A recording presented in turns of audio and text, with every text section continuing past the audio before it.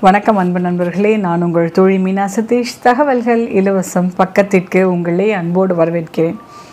இன்றைக்கி நம்மளுடைய special episode பார்க்க போகிறோம் போன வாரம் வந்து நம்ம யூரி கில்லரை பற்றியான இன்ட்ரெஸ்டிங் ஃபேக்ட்ஸ் பார்த்தோம். அந்த எபிசோட்லேயே சதீஷ் மென்ஷன் பண்ணியிருந்தாரு. இந்த வாட்டி நம்ம வந்து நம்ம நாட்டில் வாழ்ந்தவர்களை பற்றி பார்க்க போகிறோம் அப்படின்ட்டு. இன்றைக்கி தமிழ்நாட்டில் வாழ்ந்த ஒரு பெண் சித்தரை பற்றி சதீஷ் நம்மக்கிட்ட விளக்க போகிறார். நம்ம அதை பார்க்கலாம். இந்த ஸ்பெஷல் எபிசோடுக்கு பெரிய ஆதரவை கொடுத்த எல்லா நல்ல உள்ளங்களுக்கும் எங்களுடைய சிரம் தாழ்ந்த நன்றியினை தெரிவித்துக் கொள்கிறோம். மேலும் நிறைய ஆதரவு கொடுங்க. உங்களுடைய நண்பர்களோட இதை ஷேர் பண்ணிக்கோங்க. இன்னைக்கு தமிழ்நாட்டில் வாழ்ந்த ஒரு பெண் சித்தரை பற்றி பார்க்கலாம். அனைவருக்கும் வணக்கம். மீனாவின் தகவல்கள் ரசம். உங்கள் எல்லாரையும் சந்திப்பதில் மிக்க மகிழ்ச்சி. நம்மளோட ப்ரீவியஸ் எபிசோடில் யூரி கிளரை பற்றி பேசியிருப்போம். அதோட சில இம்பார்ட்டன்ஸு இல்லாட்டி அதோட ஒரு சில எக்ஸாம்பிள்ஸ் எல்லாம் நம்ம ஃபர்தராக பேசுவோம் அப்படின்னு சொல்லியிருப்போம். அதே எபிசோடில் வந்து நம்ம தமிழ்நாட்டிலையும் வந்து இந்த மாதிரி இஎஸ்பி பவர்ஸ் இந்த மாதிரி ஸ்பெஷல் பவர்ஸ் உள்ளவங்க இருந்திருக்காங்க அப்படின்னு ஒரு சின்ன ஒரு நோட்டை நான் போட்டிருக்கேன். இப்போ நம்ம அதை பற்றி தான் பார்க்க போகிறோம் அது வேறு யாரும் இல்லை. தாய் மாயம்மா.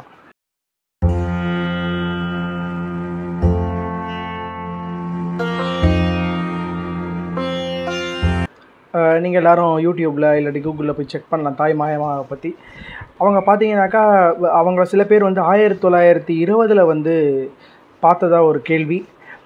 கன்னியாகுமரியில். இதில் இது இதில் முக்கியமான விஷயம் அப்படின்னு பார்த்தீங்கன்னாக்கா அவங்க வந்து அவங்களோட தோற்றம். அவங்களோட தோற்றம் வந்து ரொம்ப ஒரு மாதிரியாக இருக்கும். அதாவது இதை குளிக்கலை இல்லாட்டி அவங்க அவங்களோட தோற்றமே பார்த்தீங்கன்னாக்கா ஒரு மாதிரி ஒரு நேபாளி இப்போ வடிவத்தில் இருக்கும்.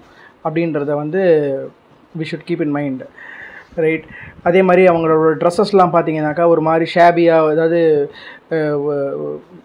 அதாவது பல மாதங்களில் பல வருடங்கள் குளிக்காத இருக்கிறவங்க எப்படி இருப்பாங்களோ அந்த மாதிரி ஒரு தோற்றம் உள்ளவங்களாக அவங்க இருந்திருக்காங்க. சில இடங்களில் வந்து அவ- அவங்களுக்கு ஆடையே இல்லாத கூட சில பேர் பார்த்துட்டு வந்து ஒரு சில பேர் சொல்கிறாங்க இதில் பார்த்தீங்கன்னாக்கா இதில் முக்கியமாக நம்ம கவனிக்க வேண்டியது வந்து அவங்க சாப்பிட்டாங்களா? இல்லை எவ்வளோ வருஷம் சாப்பிடல எவ்வளோ மாதம் சாப்பிடல அப்படின்ற ஒரு இன்ஃபர்மேஷன் எதுவும் இருக்காது. அவங்கள சுற்றி எப்போவுமே வந்து நாய்கள் இருக்கும். பைரவர் நம்ம சொல்கிறோம் இல்லையா? நாய்கள் வந்து அவங்கள சுற்றி எப்போவுமே இருக்கும் அப்படின்னு சொல்கிறாங்க ஒரு சில பேர் பார்த்ததை வந்து அதாவது அந்த அந்த கன்னியாகுமரின்னு சொல்கிறோம் இல்லையா?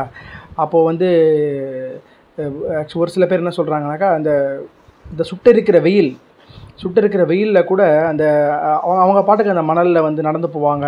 இல்லாட்டி பெரிய பெரிய பாறைகளில் வந்து அவ்வளோ பெரிய ஒரு இப்போ பாறையில் கூட வந்து அவங்க பாட்டு படுத்துக்கிட்டு இருப்பாங்க.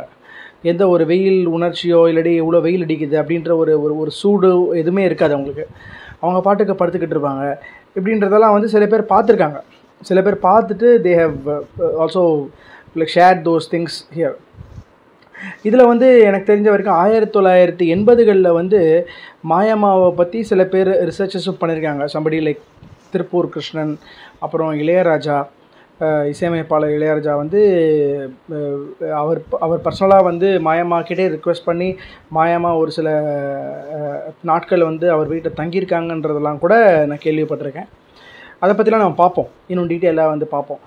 இதில் பார்த்தீங்கன்னாக்கா அங்கே இருக்கிற மீனவர்கள் மீனவர்கள் uh, வந்து என்ன நோட்டீஸ் பண்ணி அவங்க சொல்லியிருக்காங்க அப்படின்னாக்கா there has been several times அதாவது மாயம்மா வந்து கிட்டத்தட்ட ஒரு முப்பது ஐம்பது கிலோமீட்டர் வந்து அவங்க பாட்டுக்கு வந்து உள்ளுக்குள்ளே நீஞ்சி போவாங்களாம் கடலுக்குள்ளே. எப்படி போகிறாங்க அப்படின்றது யாருக்குமே தெரியாது.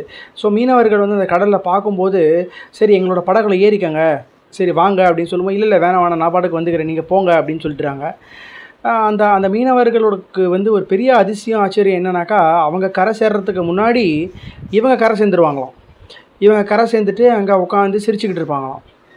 ஸோ இதெல்லாம் வந்து சில இப்போ மீனவர்கள் வந்து அவங்களோட அனுபவங்களாக வந்து சொல்லியிருக்காங்க ஒரு முக்கியமான ஒரு அனுபவம் வந்து என்ன சொல்லியிருக்காங்கனாக்கா அதாவது ஒரு டூரிஸ்ட் இல்லாட்டி ஒரு பக்தர்கள் வந்து கன்னியாகுமரி அந்த ஹைவேல போயிட்டுருக்காங்க அந்த ஹைவேல வந்து ஒரு நாயை வந்து இடிச்சிடுறாங்க அந்த வண்டியில். அந்த நாயை அப்படியே தூக்கி எறியப்படுது. அந்த அந்த நாய் வந்து இன்டு ட்ரபிள் அப்போ அந்த கூட்டத்தில் இருக்கிறவங்க எல்லாரும் அப்படியே பார்த்துக்கிட்டு இருக்காங்க. திடீர்னு வந்து இவங்க மாயம்மா உள்ளே வராங்க. அவங்க அந்த நாயை எடுத்து அவங்க மடியில் போட்டுக்கிட்டு அதாவது அந்த நாயை வந்து அப்படியே அடிச்சிட்டாங்க இல்லையா? இடிச்சிட்டாங்க இல்லையா? ஸோ அது அதோட குடல் அதோட உறுப்புகள்லாம் வந்து அப்படி சிதறி கிடக்கு.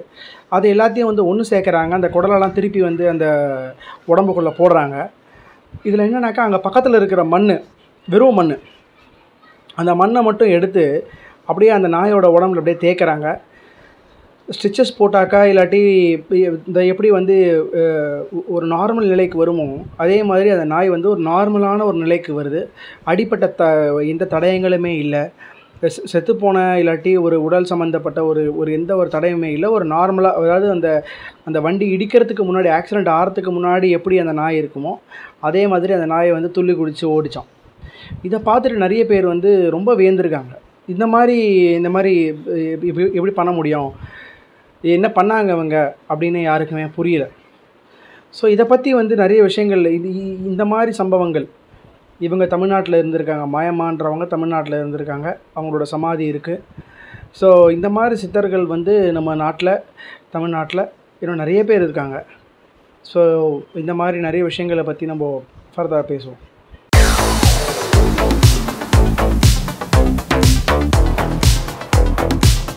அதாவது ஒரு சில கொஷின்ஸ் திருப்பி இந்த கமெண்ட் செக்ஷன்லேயே வந்திருக்கு. சிலது வந்து எங்களுக்கு தனியாக வாட்ஸ்அப்லேயே அமைச்சிருக்காங்க. அந்த கொஷின்ஸுக்கு வந்து சில கொஷின்ஸுக்கு வந்து answers I will come back to you with those answers and சில கொஷின்ஸ் வந்து பார்த்தீங்கன்னா கொஞ்சம் அபத்தமாக இருக்குது தப்பாக நினைக்காதீங்க. அதாவது என்ன சொல்கிறது இது வந்து நம்பிக்கை சார்ந்தது. எல்லாத்தையுமே வந்து காற்றை காட்டு. கண்ணில் காமிச்சா தான் நான் காற்றை பார்த்தா தான் நம்புவேன் அப்படின்னு சொன்னீங்கன்னாக்கா அதுக்கு பதில் கிடையாது. So so sorry to say that சில கொஷின்ஸ் என்னால் முடிஞ்ச வரைக்கும் சில கொஷின்ஸுக்கு நான் ஆன்சர் பண்ணியிருக்கேன். ஸோ இப்போது இதில் கேள்வி பதில். இப்போ கேள்வி பதிலில் பார்த்தீங்கன்னாக்கா நிறைய ரிப்பீட்டட் கொஷின்ஸ் அதெல்லாம் வருது. அதுக்கெல்லாம் ஒரே ஒரு ஆன்சராக I will try to give இப்போது ஒரு கேள்வி பார்த்தீங்கன்னா ஒரு ஃபஸ்ட் கொஷின் பார்த்தீங்கன்னாக்கா இந்த பேய் பிடிக்கிறது அப்படின்னு சொல்கிறாங்களே இந்த பேய் அடிக்குது பேய் பிடிச்சிருச்சு. அப்படின்னு சொல்கிறாங்களே இதை பற்றி உங்களோட கருத்து என்னன்னு ஒருத்தர் கேட்டிருக்காரு.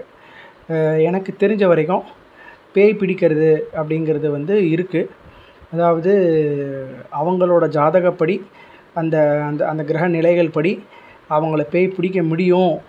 அதுக்கு உண்டான வழி இருக்குது அப்படின்னா மட்டும்தான் வந்து ஒருத்தரை ஹாண்ட் பண்ண முடியும். இந்த பேய் பிடிக்க முடியும். சும்மா வந்து யாரை வேணாலும் வந்து ஒரு ஆவி பிடிச்சிட முடியும். ஒரு இல்லாட்டி ஒரு பேய் பிடிச்சிட முடியும். அப்படின்னாக்கா அந்த மாதிரி எதுவும் கிடையாது. ஸோ இந்த இந்த பேய் அப்படிங்கும்போது இப்போ இப்போ அடுத்த கொஷின் வரலாம் இதுலேருந்து. இப்போ இந்த ஆத்மான்னு சொல்கிறீங்க துர்மரணம்னு ஒன்று கிடையாதுன்னு நீங்கள் சொன்னீங்க. அவங்களுக்கு இப்படி தான் விதிக்கப்பட்டிருந்ததுன்னா அப்படி தான் சாவாங்கன்னு நீங்கள் சொன்னீங்க. அப்போ இந்த பேயின்றது எப்படி வருது அப்படின்னு ஒரு கேள்வி வரலாம்.